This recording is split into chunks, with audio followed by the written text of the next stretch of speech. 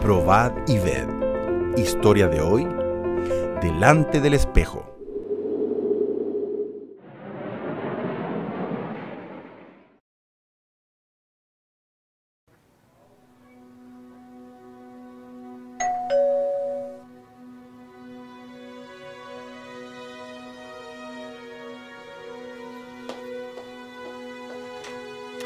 Buenas tardes. Buenas tardes. ¿Se encontrará Margarita? Pero ya no está recibiendo visita porque está muy delicada de salud. Vengo de parte de Dios. Pase, adelante. La voy a llamar. Margarita, Margarita, hija.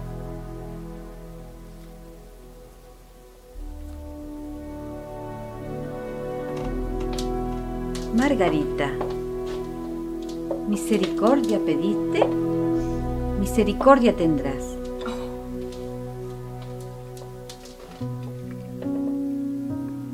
En el nombre de Dios serás sana.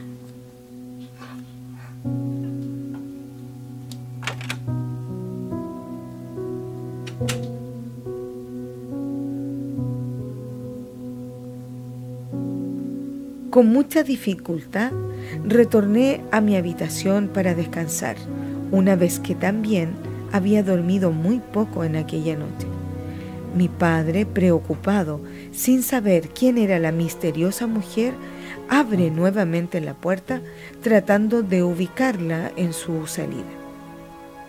Aquel sábado yo dormí por 20 horas seguidas. Al amanecer del domingo, bajé las escaleras sin necesidad de ayuda y con una muy buena disposición en mi cuerpo. Fui al baño para lavar mi rostro y tuve una gran sorpresa. Las heridas y erupciones habían desaparecido por completo. Sin embargo, debía ir al médico para cumplir con el programa de la cirugía impuesto unos días atrás. Mira, Margarita, reviso y reviso los exámenes y esto no me lo puedo explicar. Estos exámenes en este momento están normales. Yo en realidad no tengo ninguna explicación para esto. Y aquí yo ya no tengo nada más que hacer. Así que yo te voy a dar el alta en este momento y aquí yo voy a escribir. Esto es un milagro de Dios.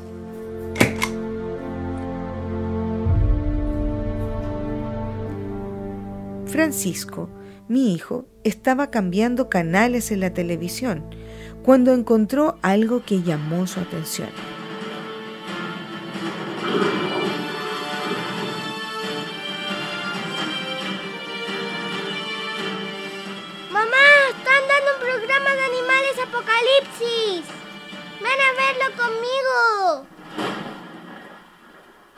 Aquel programa nos pareció una gran bendición, pues hablaba de la palabra de Dios. A partir de ese momento, seguíamos los programas del canal Nuevo Tiempo y nos interesamos en recibir en nuestra casa los estudios bíblicos. Tuve una gran sorpresa cuando recibí en mi oficina la visita del pastor José Luis Garrido de la Iglesia Adventista de Talcahuano. Pastor, estoy muy emocionada. Nunca pensé que hacer esta solicitud en Nuevo Tiempo iba a ser respondida tan rápidamente. De verdad que me siento honrada de tener su presencia acá en, en mi oficina. De verdad, muchísimas gracias por venir. Margarita, mire, la radio y televisión Nuevo Tiempo se comunicaron conmigo, me dieron su nombre y me dijeron, pastor, tienes que ir a visitar a, a Margarita. Ella tiene un testimonio muy especial. Y yo estoy acá, Margarita, para ayudarle a su crecimiento espiritual. Y, para que usted pueda conocer más nuestra iglesia, nuestra enseñanza, nuestra doctrina, es lo que nosotros creemos, ¿no? Y, y, la idea es que yo pueda ayudarle un poquito a desarrollar su fe a través del estudio de la Biblia. Es por eso que estamos acá presentes. Le estamos ofreciendo esta linda oportunidad para que usted pueda afianzar su confianza más en las promesas del Señor. La respuesta no demoró mucho tiempo. Recibí la invitación para ir a la iglesia por primera vez.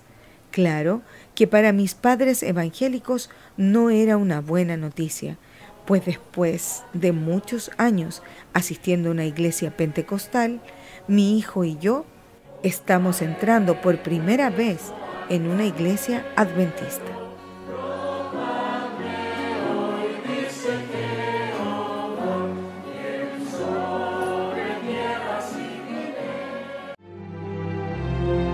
En reconocimiento y gratitud a Cristo por todo lo que es, entregamos los diezmos y ofrendas como parte de nuestra adoración.